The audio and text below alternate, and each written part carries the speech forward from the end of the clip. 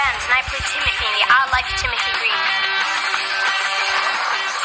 You're watching Disney Channel.